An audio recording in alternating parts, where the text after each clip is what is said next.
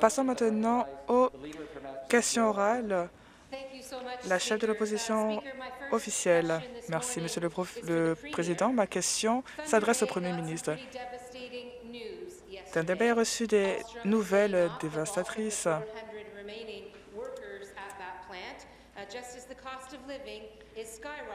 Le coût de la vie ne cesse d'augmenter. Il reste encore 400 travailleurs à l'usine. Cette usine de production a employé plus de 12 000 travailleurs. Ce sont des travails euh, dans la production, un travail, des, des emplois plutôt qui permettent de mettre de la nourriture sur la table. Le Premier ministre était là en août à Thunder Bay il y a six mois et il a fait des promesses vides à ses travailleurs concernant des futurs emplois.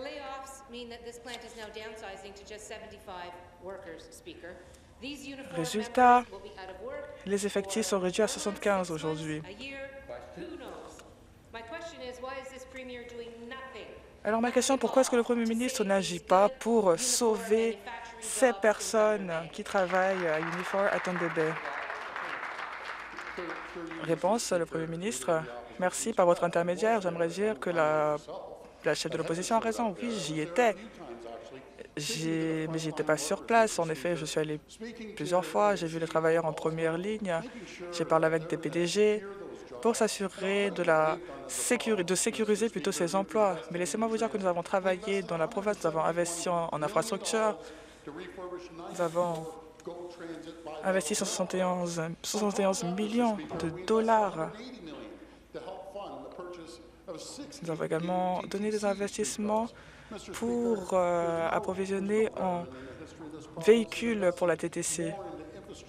Nous faisons beaucoup pour les infrastructures, pour les, transports. C'est la première fois que le gouvernement le fait. 21 millions de dollars, 29 millions de dollars ont été alloués au plus grand projet de transport de la province. Complémentaire, les personnes de Thunder Bay veulent voir les actes et peuvent, ils veulent pas écouter des paroles. Le Premier ministre et le gouvernement le sait très bien. Ils savaient très bien que cette situation allait, allait se passer. La gestion et les syndicats ont travaillé ensemble lors de, de périodes difficiles. Beaucoup d'éléments ne sont pas de notre ressort, tel la COVID, mais il y, a eu il y a eu un manque de décrets de la part du gouvernement. Et c'est ce que le gouvernement provincial fait. Ils doivent commenter cela. Nous demandons au gouvernement de se réveiller afin que plus de voitures soient produites en Ontario à Thunder Bay. Pourquoi le premier ministre ne peut pas s'engager envers euh, la ville de Thunder Bay et offrir des emplois dans la production? Pourquoi ne le fait-il pas? Réponse, ministre associé de la, des Transports. Merci, Monsieur le Président. Cette pandémie a été dure pour les Ontariens et Ontariennes et cela inclut les personnes de Thunder Bay. On peut comprendre que cette mise à pied a été temporaire et il y a eu des retombées. Mais nous sommes fiers car nous avons des emplois durables dans les usines qui resteront au cours des prochaines années. Ces entreprises auraient pu fermer leurs portes à Thunder Bay. C'est ce que nous allons voir euh, à, à Toronto. La population va exploser mais nous sommes sûrs que l'Ontario vivra une prospérité et Thunder Bay également. Complémentaire, ces travailleurs ont besoin de ces emplois pour payer leurs factures maintenant et pour nourrir leur famille maintenant, pour payer.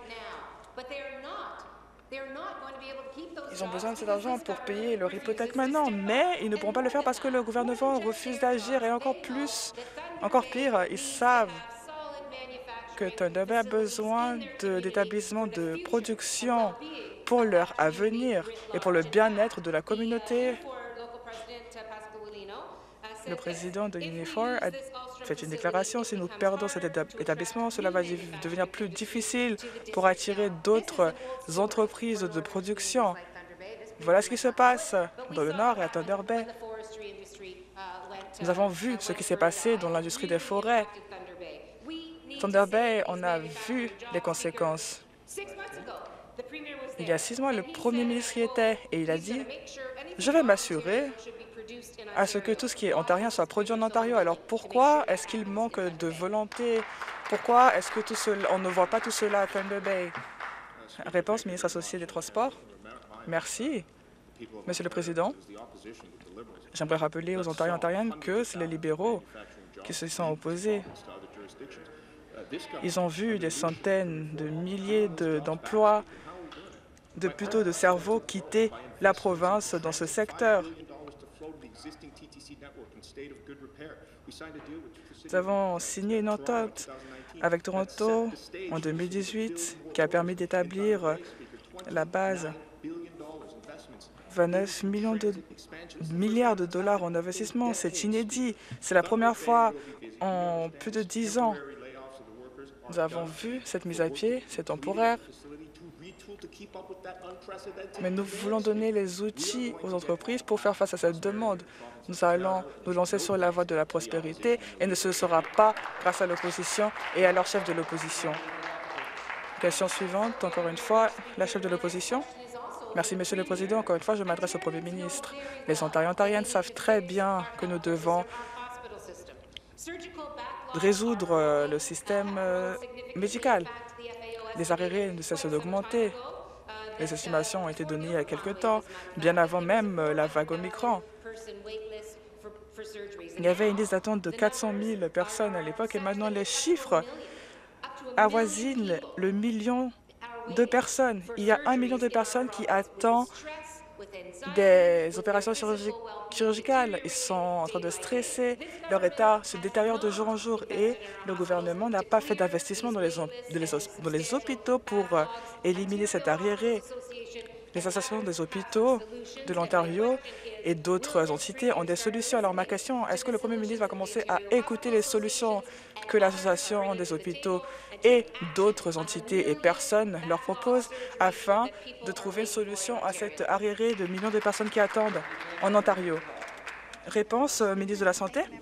Merci, Madame, Monsieur le Président. Je sais que cela préoccupe énormément les Ontariens et Ontariennes. J'apprécie cette possibilité que vous me donnez de répondre. Nous le savons bien. Nous avons dû mettre certaines procédures en pause Beaucoup d'Ontariens ont dû attendre des chirurgies orthopédiques, par exemple, ou liées à des problèmes cardiaques.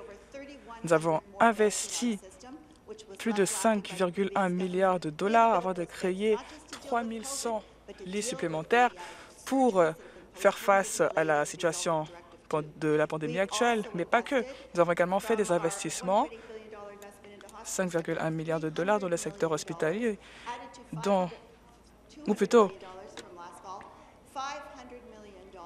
200 millions de dollars ont été ajoutés. Nous avons ajouté encore 500 millions de dollars pour euh, rattraper ce retard dans les opérations chirurgicales. Nous avons créé le scénario nécessaire, nous avons levé les directives. Nous voulons, nous voulons repartir à un seuil de 90 comme c'était le cas en 2019. Complémentaire. Merci, Monsieur le Président. En effet, l'Association des hôpitaux d'Ontario a des, des, recommandations qui permettraient de trouver une solution au système hospitalier. En voici quelques-unes. Embaucher des milliers d'infirmiers et infirmières.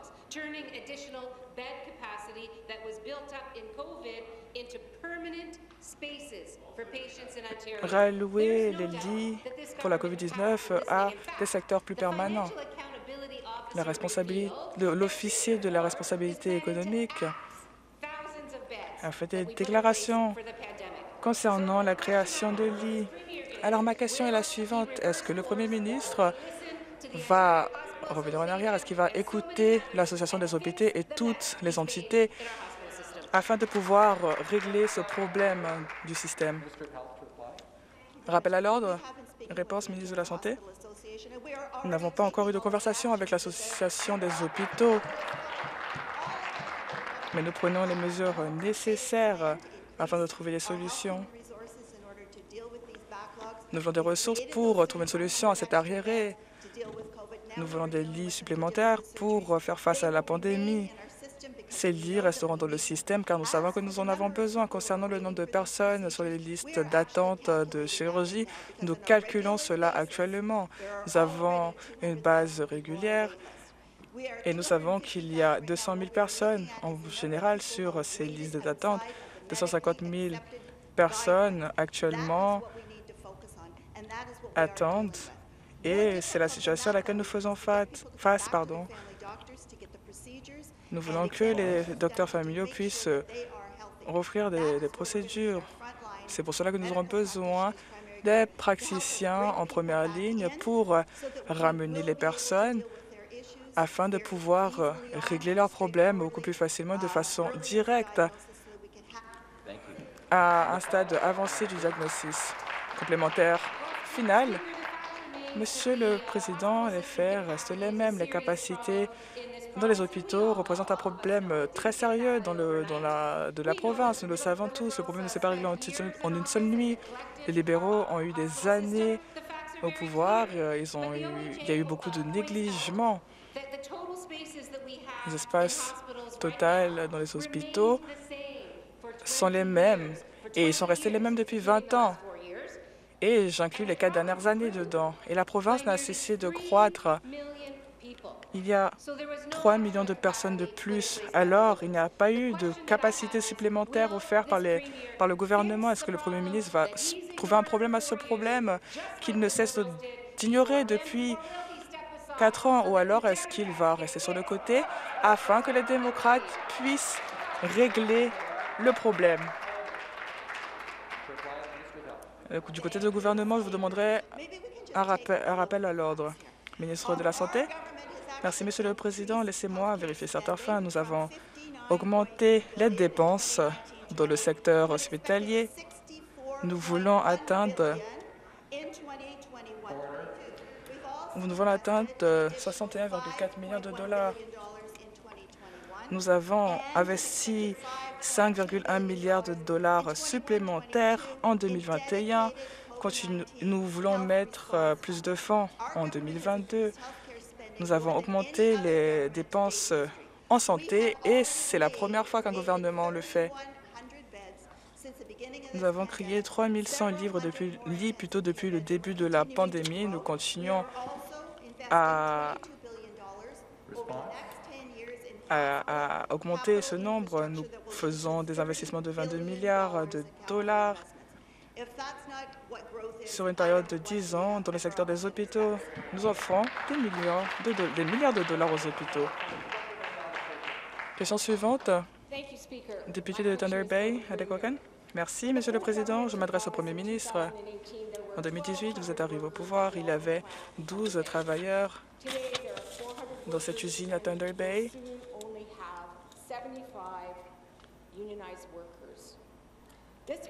Aujourd'hui, nous ne sommes plus que 400 et ils seront bientôt plus que 75 euh, syndicalisés. Le gouvernement a fait des promesses, venir dans, notre, dans, ma, dans ma circonscription et imposer des changements mais encore une fois, beaucoup de personnes sont en situation de chômage car le gouvernement n'a pas le sens des urgences.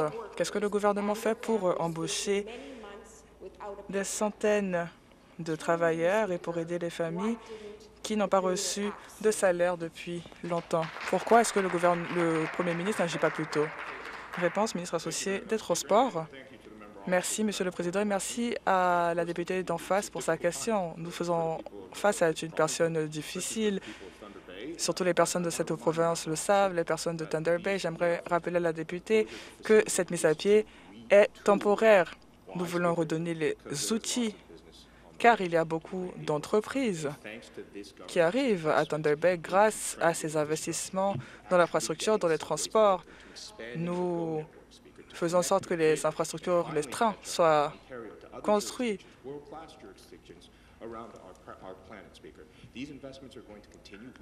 Ces investissements continueront. Nous allons ramener un retour d'emploi à Thunder Bay et nous allons amener la prospérité dans la province. Complémentaire, encore une fois, je m'adresse au Premier ministre.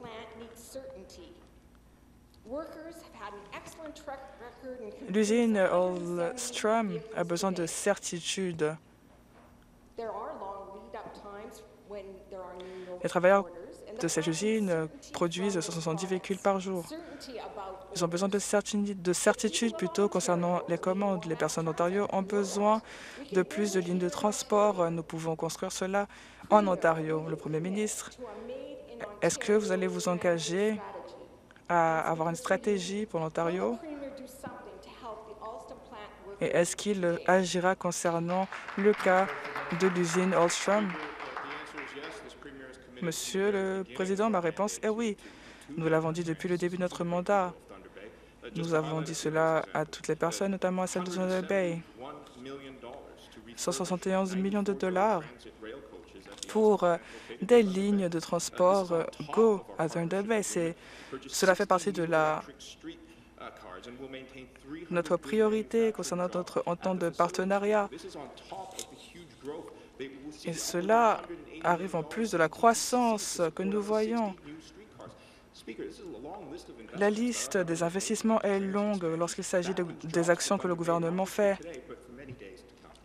On parle de la situation actuelle, mais également la situation à venir. Question suivante, député de Mississauga Centre. Merci, Monsieur le Président. Tous les niveaux du gouvernement ont le même mandat, soutenir nos commettants qui nous ont élus afin de les représenter dans cette Chambre. Nous vivons des moments sans précédent. Nous avons besoin de directives. Les Ontariens Ontariennes veulent de l'air pur, de l'eau pure, des produits sécuritaires et des conditions de travail sécuritaires. Des bonnes règles sont nécessaires pour maintenir ces hauts standards. Les Ontariens nous appellent afin d'éliminer le fardeau non nécessaire qui est imposé aux Ontariens ontariennes et à leurs entreprises. Alors, Monsieur le Président, selon par vous, est-ce que la ministre associée et ma collègue des petites entreprises à la réduction de la déformité administrative pourraient nous dire les règles qui permettraient de promouvoir la santé publique sans sacrifier l'environnement et les possibilités de croissance. Réponse à la ministre associée aux petites entreprises et à la réduction des formalités administratives. Merci. J'aimerais remercier ma déléguée pour sa, ma collègue plutôt pour sa question. Hier, je me suis présentée ici. J'ai déposé notre huitième trousse visant à réduire les formalités administratives. Le but est de faciliter la vie des entreprises et des personnes à travers la province. Grâce à ces mesures législatives, nous avons annoncé notre intention d'éliminer les frais de renouvellement des plaques d'immatriculation, les exigences liées aux vignettes notamment. Ce changement permettrait d'épargner 120 dollars chaque année par personne. En plus de cela, nous allons rembourser tous les propriétaires de véhicules qui ont renouvelé leurs frais à compter de mars 2020. Ce n'est pas une entente unique. Ce gouvernement continuera à explorer et nous allons aider tous les recoins de cette euh, province. Merci, Monsieur le Président, merci à la ministre pour sa réponse. Je sais que les membres de ma communauté ont été incroyablement satisfaits de cette nouvelle. Nous devons nous tourner vers l'avenir et voir comment nous planifions reconstruire l'économie après la pandémie. Avec euh, l'abolition de ces frais de, liés aux plaques d'immatriculation, cela permettra aux personnes d'économiser plus d'argent et de garder de l'argent dans leur poche et non dans les poches du gouvernement. Et je suis sûre que tous les membres, tous les députés de cette Chambre soutiennent cela. Mais je suis sûre qu'il reste encore à faire. Est-ce que le gouvernement pourrait nous dire les progrès qui ont été faits et les mesures euh, qui visent à réduire ce fardeau pour les Ontariens ontariennes et à quoi les Ontariens ontariennes peuvent s'attendre de cette trousse si ce projet de loi est adopté? Réponse, ministre associé délégué aux petites entreprises à la réduction des formalités administratives. Merci. Le gouvernement est fier de vouloir assurer la prospérité de l'Ontario. Nous pensons que les Ontariens ontariennes méritent de recevoir l'aide nécessaire, surtout dans ces moments.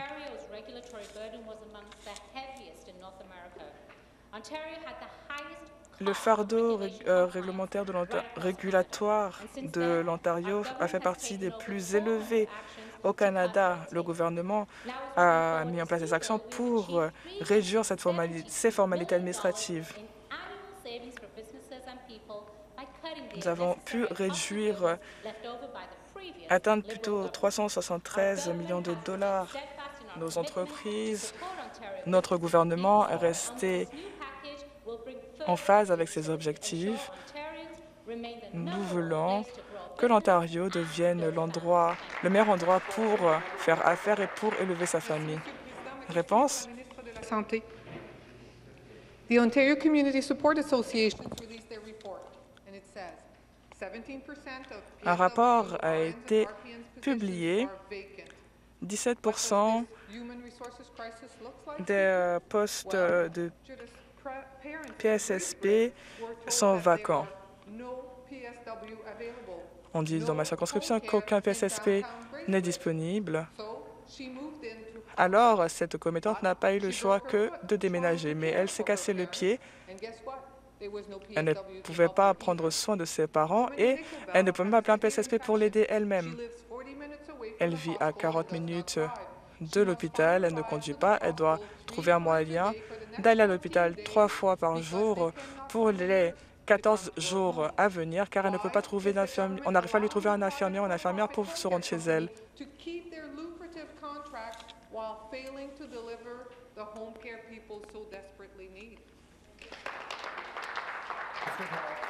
Ministre de la Santé pour la réponse. Merci, Monsieur le Président. Je remercie la députée pour sa question. Nous reconnaissons l'importance des soins de santé à domicile. Il faut un équilibre entre les hôpitaux et les soins de longue durée afin que le système fonctionne correctement. C'est pour cela que nous avons proposé des projets de loi pour moderniser ce type de loi. Nous voulons, nous voulons euh, moderniser le système. Et nous allons faire ce qui est nécessaire pour changer le système. Et nous allons inclure les soins à domicile dans les soins et faire en sorte qu'ils soient pertinents dans toute la province complémentaire. Monsieur le Président, toutes les personnes de ce côté savent que 17% de, ces postes sont vacants car il y a des entreprises privées qui préfèrent augmenter leurs profits plutôt que de payer un salaire décent à leurs travailleurs. Les équipes de soutien ne sont plus les mêmes qu'il y a quatre ans. Tout cela s'est effondré. La solution est pourtant simple, se débarrasser des agences à but lucratif et donner un salaire équitable au, au personnel qui travaille à domicile ou à l'hôpital. Quand est-ce que le Premier ministre va trouver une solution pour ce système qui ne fonctionne plus afin que ces personnes puissent recevoir des soins à domicile pour rester en sécurité à domicile? Euh, réponse, ministre de la Santé. Tout d'abord, nous travaillons sur la modernisation de notre système de soins à domicile, mais je ne suis pas d'accord avec la, la députée d'en face concernant la raison de ces inquiétudes. Tout d'abord, nous avons investi dans le système en 2021. Nous avons fait des investissements supplémentaires dans les soins communautaires, 111 millions de dollars supplémentaires ont également été donnés pour soutenir les soins à domicile. Il y a également des défis auxquels nous faisons face concernant la santé. Nous travaillons là-dessus. Cela inclut les soins à l'hôpital et les soins communautaires. Nous travaillons là-dessus afin d'augmenter notamment le nombre de PSSP euh, de 8 000 personnes au cours des prochaines années. Nous voulons également embaucher plus d'infirmiers et d'infirmières. Nous voulons proposer des programmes qui permettront aux PSSP de devenir des infirmiers praticiens et de pouvoir être autorisés, devenir des infirmiers autorisés ensuite. Merci. Question suivante. député de Scarborough-Gilwood. Merci, Monsieur le Président. Ma question est pour la ministre de la Santé. Aujourd'hui, j'ai envoyé une lettre. Je vous ai envoyé votre- une lettre pour vous demander du soutien concernant mon projet de loi mais visant à mettre fin à la violence euh, armée. Quand j'ai déposé ce projet de loi, vous avez déclaré que vous allez soutenir. Aujourd'hui, il y a des étudiants dans la région qui souffrent du traumatisme lié à la violence armée. Cette année, il y a eu dix fusillades déjà dans ma circonscription, dont une qui a été fatale. Un étudiant de 18 ans a été abattu à l'extérieur de son école. J'ai visité cette école, j'ai parlé avec des parents, avec le principal et même avec le personnel. Et ils pensent que ce projet de loi est important et que nous devons faire plus. Cela permettra de donner des services aux personnes qui souffrent de traumatisme et cela sera couvert par euh, le régime médical de l'Ontario.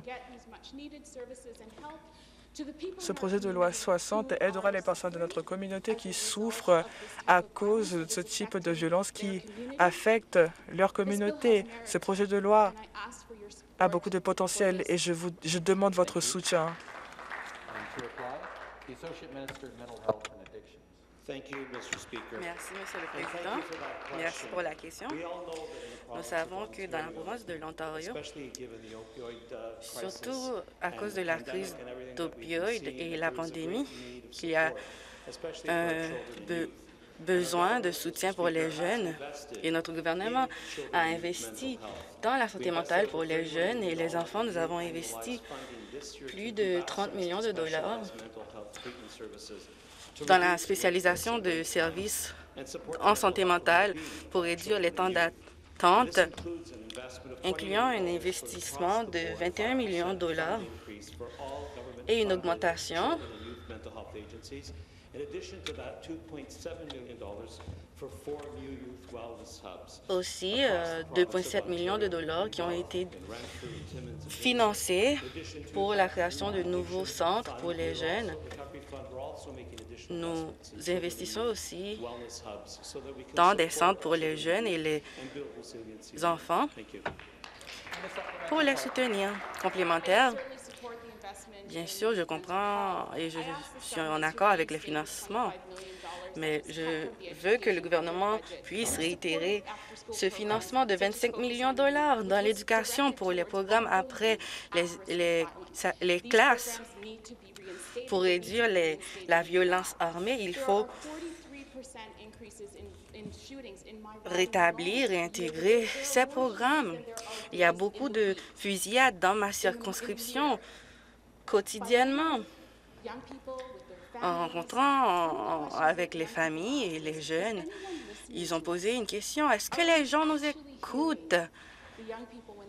Est-ce que nous écoutons les jeunes lorsqu'ils disent qu'ils ont besoin d'aide et qu'ils ont besoin de cette aide? Maintenant? Les programmes pour les jeunes doivent être financés et les coupures qui ont été effectuées doivent être réintégrées. Donc, le projet de loi 60 donne, offre une solution immédiate. Donc, à la ministre de la Santé, vous avez parlé d'un financement de services virtuels. Donc, je demande à ce que ça soit fait maintenant pour réduire la violence armée entre les jeunes.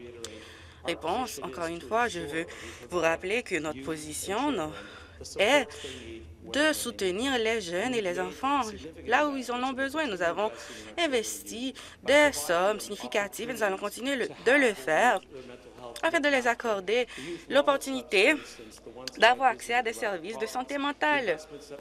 Les investissements qu'on a faits pour fournir des ressources pour des jeunes, pour avoir des espaces en sécurité afin de recevoir des services culturellement appropriés. Nous nous assurons que ces jeunes ont ces services disponibles à eux afin qu'ils soient en sécurité, afin qu'ils soient éduqués, parce que les jeunes sont le futur, afin de bâtir leur persévérance. Il y a eu en tout un investissement de 125 millions de dollars par année pour bâtir des établissements de services pour ceux qui en ont, en ont besoin. Intervention du président, merci. La prochaine question, le député de Kitchener-Carmisto. Merci beaucoup, Monsieur le Président. Ma question est pour le ministre du Développement économique. Sous le gouvernement précédent, beaucoup de- de- d'emplois ont été perdus dans le domaine de l'automobile. Ils sont partis aux États-Unis ou à l'étranger et les Ontariens doivent savoir que le gouvernement travaille chaque jour pour eux et que l'industrie est assez confidente pour investir en Ontario. Donc, Monsieur le Président, est-ce que le ministre peut nous dire comment est-ce que le gouvernement s'assure de sécuriser un futur à long terme dans l'industrie de l'automobile? Réponse, ministre du, Développement économique. Monsieur le Président, notre gouvernement s'est concentré à rendre le secteur automobile en Ontario en chef de file. Nous avons investi des milliards de dollars, 6 milliards de dollars exactement, afin de fabriquer euh, des véhicules électriques et d'autres investissements pour l'usine à Oakville et à Windsor pour bâtir des voitures hybrides, des investissements de 1 milliard de dollars pour délivrer des voitures électroniques, des camionnettes électroniques à travers le gouvernement précédent, cette, industrie a été oubliée, mais nous allons rendre l'Ontario la destination en premier lieu pour les investisseurs. Réponse, le gouvernement précédent ont essayé de forcer ces emplois hors de la province. L'Ontario mérite beaucoup plus. Il y a d'autres secteurs qui continuent à être disponibles et d'autres emplois aussi. Et les Ontariens ont besoin d'emplois qui soutiennent leurs besoins et dans le secteur automobile.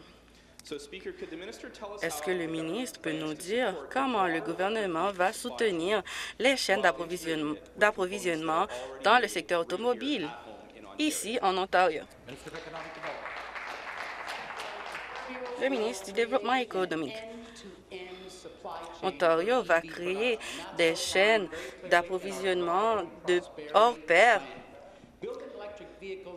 en bâtissant des véhicules électriques sont tellement importants pour assurer la sécurité d'emploi pour les, travailleurs. Mais ça va aussi aider dans d'autres secteurs, par exemple l'industrie minière. Nous avons beaucoup de ressources dispo- disponibles ici, à, à Ontario, le nickel, à Sudbury, le cobalt, le graphite, le lithium. Le premier ministre travaille pour bâtir des, batte- des batteries exceptionnelles qui vont changer l'économie en Ontario. Prochaine question, député de Niagara Falls. Merci, Monsieur le Président. Je pose la question au Premier ministre. Je- J'ai parlé aux agents paramédicaux et la situation est néfaste. Il n'y a pas assez de lits à Niagara et il y a beaucoup d'attentes. Les résidents, les résidents meurent et bien qu'ils appellent le numéro 911 d'urgence, ils ne reçoivent pas de réponse rapide. C'est très simple, la réponse à ce problème. Il faut avoir beaucoup plus de lits disponibles et des hôpitaux qui sont remplis de personnel. Ce n'est pas acceptable que les gens attendent trois heures après avoir composé le numéro d'urgence pour recevoir de l'aide à Niagara. Ministre de la Santé, merci beaucoup. Bien qu'il y a eu beaucoup de d'enjeux, beaucoup de points dans votre question, dans certaines régions en Ontario, il y a des gens où les agents paramédicaux attendent un peu plus de temps et c'est la raison pour laquelle nous avons recruté des spécialistes pour consulter les patients. Et ce projet a réussi à Ottawa et dans d'autres régions dans la province. Et pour la deuxième partie de votre question concernant la quantité de lits, je sais que vous êtes au courant qu'il y a un nouveau hôpital qui est en train d'être construit à Niagara. Réponse, oui, je suis au courant de cela. Nous avons entendu presque 11 ans, mais nous devons gé- gérer ce problème aussi. Si vous composez 911, vous attendez-vous à attendre trois heures de temps? Donc, le gouvernement a seulement empiré la situation. Beaucoup de travailleurs en santé ont signé une pétition en disant que le projet de loi 124 a des impacts néfastes, surtout à cause de l'inflation qui est à 6 Il faut régler le problème des arriérés. Les conservateurs ont voté contre cela, contre l'abrogation du projet de loi 124. Le gouvernement a ignoré leur demande. Est-ce que le premier ministre peut nous expliquer comment ces coupures ont- n'ont rien fait que créer des chaos dans le système de santé? Réponse, comme je l'ai indiqué, nous avons augmenté les dépenses dans le système de santé en Ontario comparément à d'autres gouvernements. Nous avons investi, inves- investi 64 milliards de dollars dans le système de santé. Donc, nous ne faisons pas des coupures. Au, contraire, nous augmentons nos investissements. Nous modernisons nos systèmes d'ambulance pour répondre rapidement aux demandes et nous assurons que les agents, les ambulanciers puissent répondre rapidement. Le ministère des Soins de longue durée aussi s'assure que les besoins des aînés sont euh, considérés. Nous avons plusieurs joueurs qui continuent de contribuer dans le système de la santé pour l'améliorer, pour augmenter le taux de préposés, de- de- d'infirmiers, infirmières auxiliaires, pour améliorer l'expérience du patient en Ontario, en dépit de la région où il habite. Ma question est pour le premier ministre. Le 1er février 2022, le premier, on a demandé au premier ministre est-ce qu'il soutenait le convoi. Le 15 février, le premier ministre a changé. Il a dit que ce n'est pas important si vous avez une dose ou deux doses. Vous pouvez quand même attraper la COVID-19. C'est leur choix, c'est leur liberté. Et le premier ministre a changé d'avis. Donc, quelle est votre position spécifique aujourd'hui? Est-ce que le premier ministre croit au vaccin ou est-ce que le nouveau premier ministre pense que c'est un choix concernant la liberté? Est-ce qu'il va, est-ce qu'il va m'aider à adopter, mais inaudible? Uh, uh. Uh, Rappel à l'ordre, rappel à l'ordre. Leader parlementaire du gouvernement.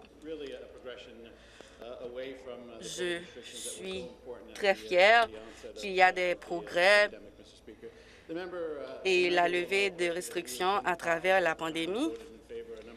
Le député faisait partie, bien sûr, du caucus du groupe parlementaire et il y avait des pénuries graves.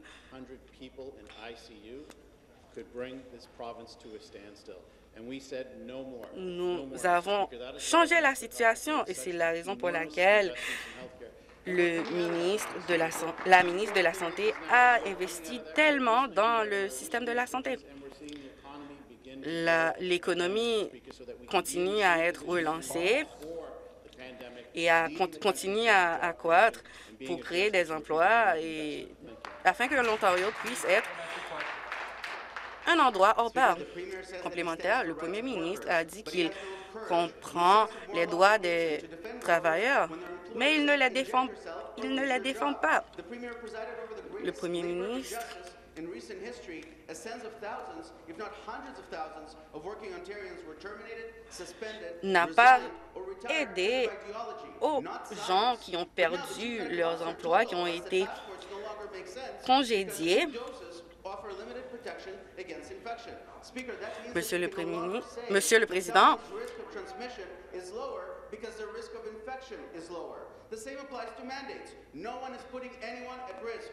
Personne ne met les gens à risque. Donc, c'est une honte d'avoir continué à mentir. Est-ce que le Premier ministre... Intervention du président, le député doit enlever son commentaire qui n'est pas correct. Est-ce que le premier ministre va protéger les travailleurs?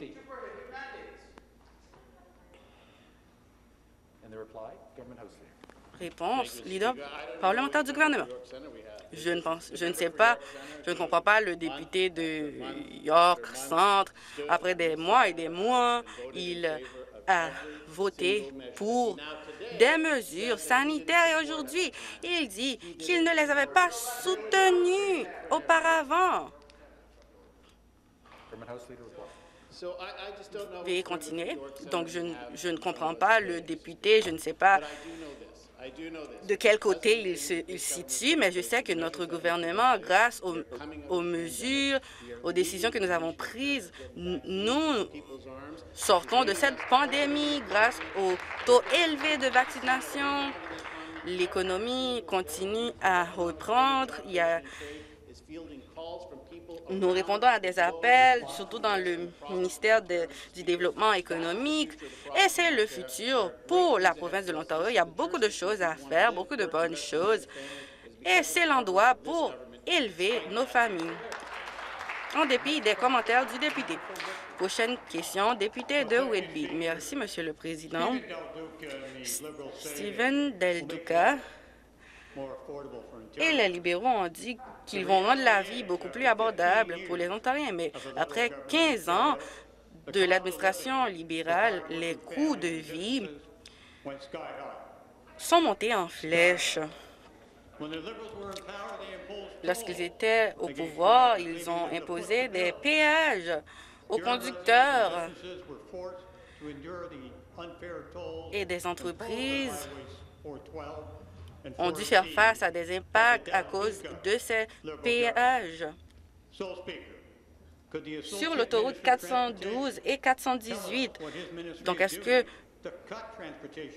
la ministre des Transports peut nous dire ce qu'elle accomplit pour réduire les coûts dans ce secteur? Merci, merci pour la question. Il a une passion pour son travail et sa circonscription. Nous avons annoncé que nous allons enlever les péages 412 et 418 à partir de, du, du 5 avril de cette année. Ça va réduire les coûts pour les conducteurs de Durham.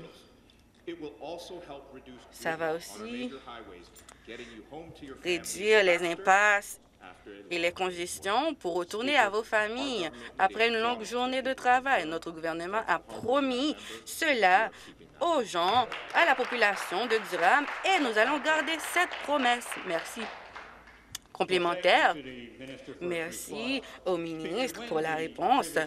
Lorsque le gouvernement libéral a pris la décision de créer ces péages pour ces autoroutes, les gens dans ma circonscription à Durham ont souffert de cette décision.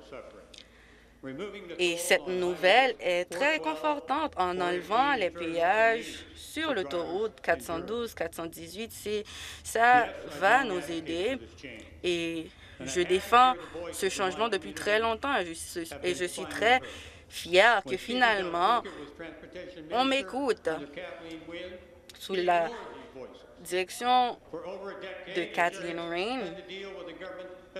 On nous a ignorés. Ce gouvernement avait dit non aux Ontariens. Non aux Ontariens. Et oui à leur calendrier seulement. Donc, que fait le ministre associé des Transports pour élargir cette initiative pour aboutir vers d'autres autoroutes en Ontario? Merci, merci d'avoir parlé euh, du, de, de l'administration précédente. Steven Del Luca pensait que c'était acceptable pour ces conducteurs de payer ces péages afin de se déplacer dans leur communauté. Notre gouvernement savait que ce n'était pas juste. Nous avons enlevé cela. La vérificatrice générale a remarqué qu'ils avaient des mesures qui ne sont pas appropriées et ont influencé Metrolinx. Monsieur le Président, nous sommes le seul parti qui dit oui au gouverne- aux, aux Ontariens et nous allons continuer à dire oui.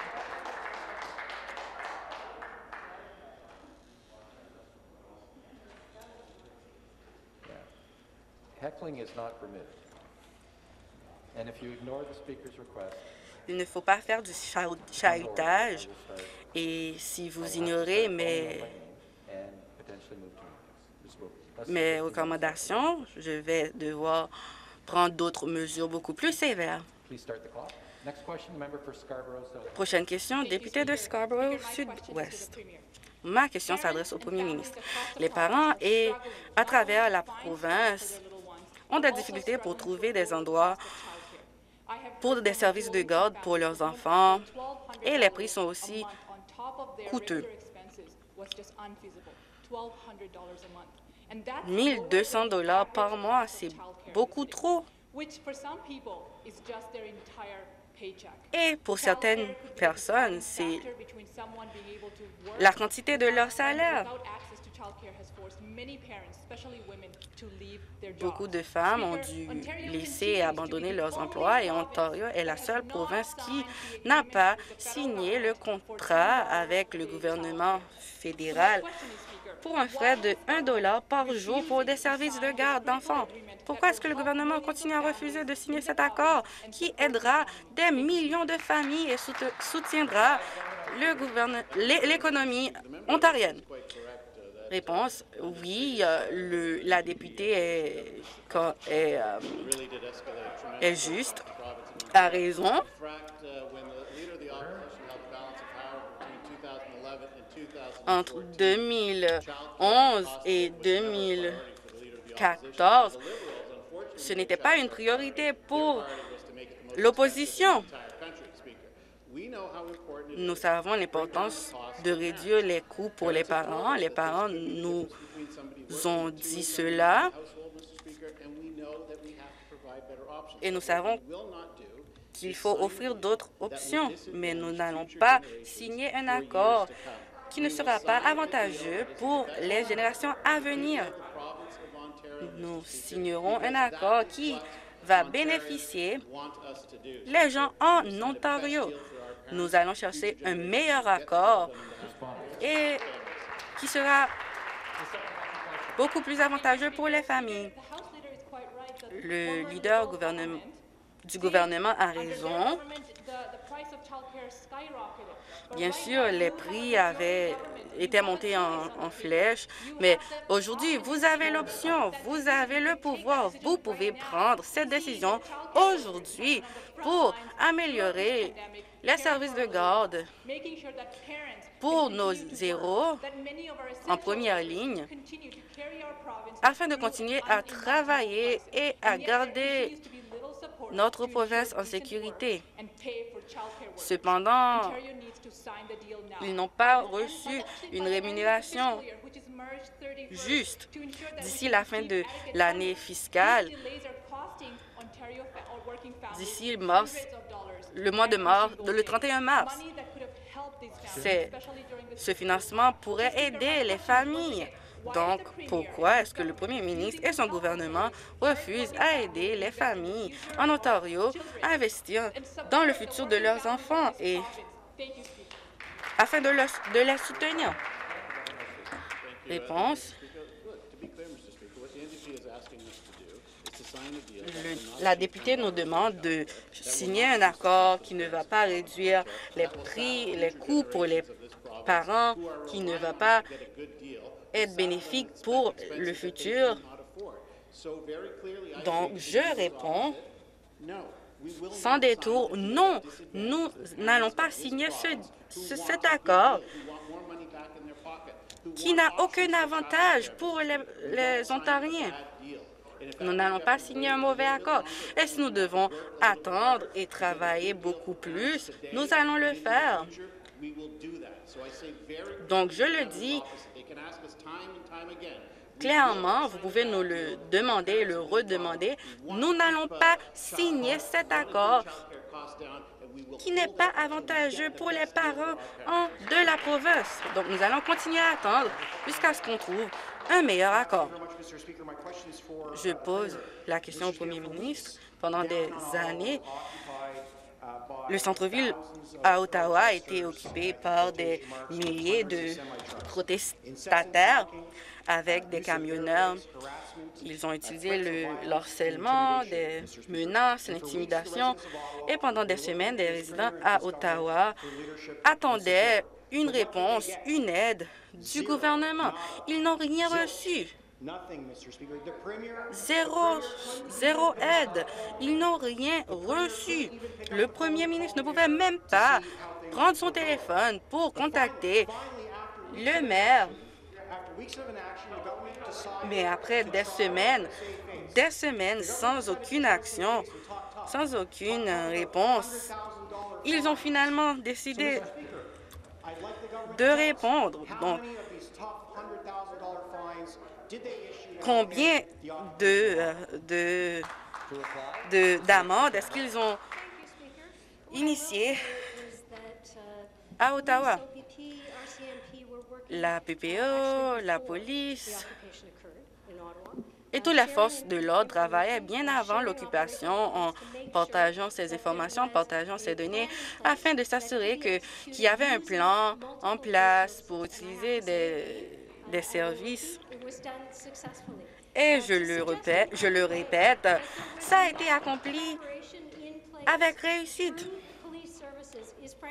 Les services, les forces policières sont nécessaires et vous ne comprenez pas la façon dont ils ont partagé ces informations entre eux à travers l'occupation. Je pense qu'il est essentiel de comprendre le fait de d'enlever euh, le CVOR a été un, un succès. Thank you. The supplementary question.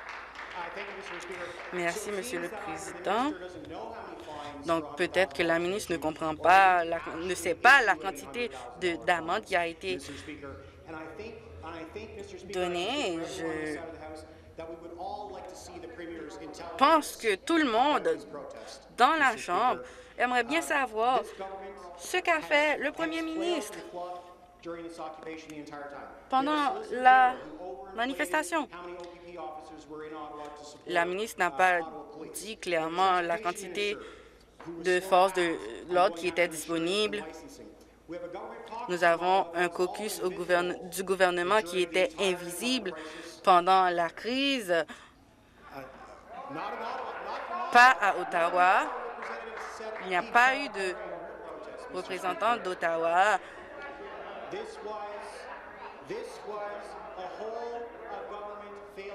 C'est un échec du gouvernement.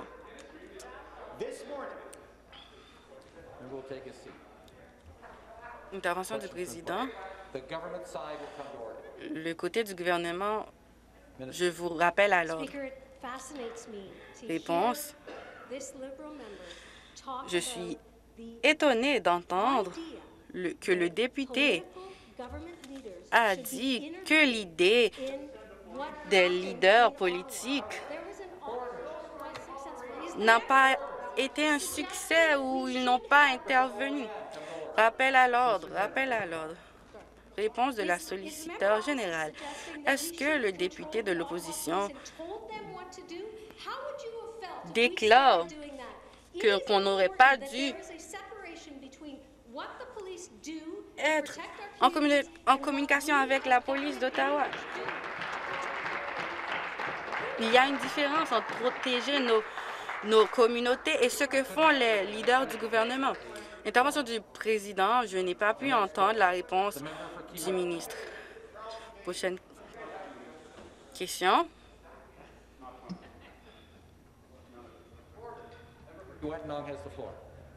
Appel à l'ordre. Bonjour. Je pose la question au Premier ministre.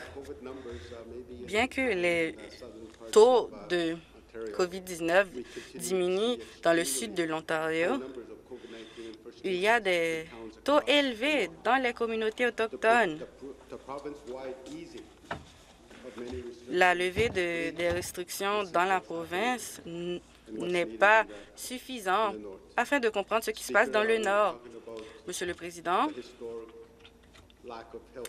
il y a un manque de ressources qui n'a pas amélioré depuis le début de la pandémie. Est-ce que la province de l'Ontario va s'assurer que ces ressources sont disponibles afin de s'assurer que les populations autochtones en réserve et hors de réserve qui ont des impacts néfastes à cause de la pandémie? Réponse à la ministre de la Santé. Merci pour la question. C'est une question très importante parce que notre gouvernement est dévoué à s'assurer que tout le monde en Ontario, peu importe où elle vive, reçoive les soutiens nécessaires pour composer avec la COVID et d'autres urgences en santé. Je dirais qu'on a eu une très bonne collaboration entre les communautés autochtones, aussi bien que le gouvernement, pour euh, l'opération immunisation éloignée une euh, opération qui continue pour la deuxième dose et troisième dose, et en particulier par des communautés accessibles seulement par avion. Mais je dirais aussi qu'il y a encore beaucoup de cas de COVID dans le nord de l'Ontario. On peut voir de la surveillance des eaux usées qu'on fait partout dans la province. Peut-être c'est, mais c'est pas euh, certain que c'est la transmission de la COVID. Elle a eu lieu plus tard dans le nord que dans le sud, mais c'est quelque chose sur lequel on fait un suivi et on veut s'assurer s'il y a plus de ressources dans des communautés autochtones. Dans le nord, on va les donner. Question complémentaire? Je reviens au Premier ministre. Monsieur le Président, des euh, fonctionnaires de santé dans le Nord disent que nous sommes des semaines en arrière, le reste de la province, quant euh, à des taux de positivité des tests et des taux d'hospitalisation. Ce virus reste une menace euh, importante pour le Nord avec certains, certaines régions qui ont les chiffres les plus élevés depuis le début de la pandémie il y a plus de 600 cas actifs de euh, COVID dans 25 euh, Premières Nations et on continue à augmenter. Le Nord est une étape euh, critique dans notre lutte contre la COVID. Est-ce qu'encore une fois, l'Ontario va s'assurer que son approche pour les mesures de santé publique reflète les besoins du Nord? La ministre de la Santé. Oui, bien sûr. On vérifie toutes les parties de l'Ontario pour comprendre le nombre de cas de COVID dans chaque communauté. Il y a 1002 de euh, 4125 cas de COVID avec 319 personnes dans les soins intensifs. On sait qu'il y a des niveaux plus élevés en Ontario, ce qui inclut beaucoup de Premières Nations. On travaille aussi pour donner des tests additionnels à tout le monde en Ontario afin qu'on puisse déterminer la transmission communautaire pour que les, restes, les gens restent en, santé, en bonne santé en utilisant les tests rapides qui sont disponibles à des épiceries de, dans 200, 2385 euh, euh, épiceries, aussi bien que dans les pharmacies, dans 22 centres euh, communautaires, et ce qui inclut dans les communautés du Nord. Et on sait que dans le Nord, on a une bonne concentration. Il y a 5 millions et demi de ces tests qui sont disponibles. On encourage tous les gens à utiliser pour assurer qu'on peut limiter la transmission communautaire. Merci. Merci beaucoup. Question suivante, le député de York Centre. Monsieur le Président, les Canadiens canadiennes d'une côte à l'autre se réveillent en horreur. D'abord, le Conseil des ministres provinciaux, après le fédéral, ont invoqué des mesures d'urgence pour traiter avec ces manifestants qui sont paisibles et qui... Et d'abord, on a suivi ce que le gouvernement Trudeau a fait. On aurait pu traiter ce problème avec des règlements municipaux. Un état d'urgence a été déclaré par euh, ce gouvernement, même s'il y avait un problème au pont qui n'existe plus. Le gouvernement fédéral ne répond à un test juridique, une situation qui est raisonnable. Est-ce que la solliciteur générale va terminer l'état d'urgence, ce qui est illégal et, qui est pervers? Réponse, le leader parlementaire du gouvernement. Monsieur le Président, comme le député comme il a dit dans sa question, l'état d'urgence fédéral a été adopté par le Parlement fédéral, appuyé par euh, les députés fédéraux, comme ils peuvent le faire. C'est la conclusion de la période des questions de ce matin. Je comprends que le député de Sudbury a un rappel au règlement. Merci. Je veux euh, euh, corriger ce que j'ai dit pendant la déclaration de député. Je sais que le pour McIntyre est allé jusqu'à 1999. C'était en 1979, plutôt. Merci beaucoup. Vu qu'il n'y a pas d'autres affaires traitées, la séance est impose jusqu'à 15 heures.